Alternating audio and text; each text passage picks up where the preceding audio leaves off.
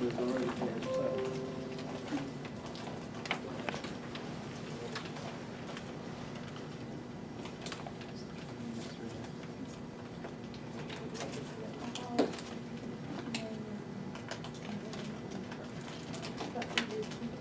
Okay, with that, we'll start about five after seven.